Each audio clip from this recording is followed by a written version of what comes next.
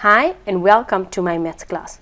Today we're going to learn how to calculate the distance in analytical geometry.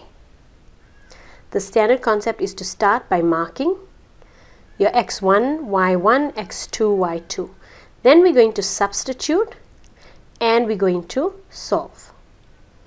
Now what you must remember is that they're not always going to give you the x1, y1, x2, y2.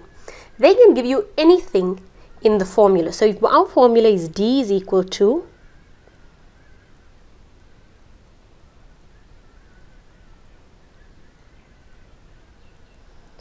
x2 minus x1 all squared plus y2 minus y1 all squared. Then they can give me from the five unknowns. They can give me anything. And the whole concept is based on substitution and you solve for whatever you don't have. Right, let's take the following example.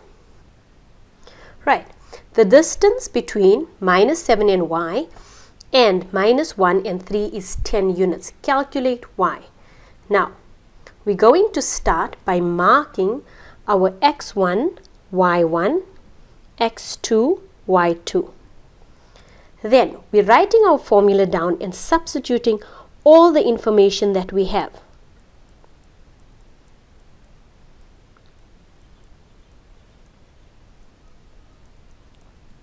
So we're going to say our distance is given to us. It's 10 is equal to we have x2 as minus 1 minus minus 7 all squared plus 3 minus y all squared. Now at this point you must be careful with your algebra. To get rid of a root, we're going to square. And what we do on one side, we're going to do on the other side. So I'm going to square the 10, which gives us 100 is equal to now minus 1 plus 7 all squared plus 3 minus y all squared. Minus 1 plus 7 is 6. 6 all squared is 36 plus open brackets 3 minus y all squared. I'm going to take my 36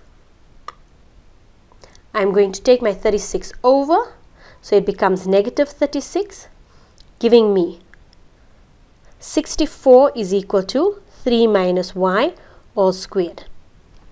Now to get rid of a square you're going to root side. Remember maths is all about opposites. So if it's a square I'm going to square root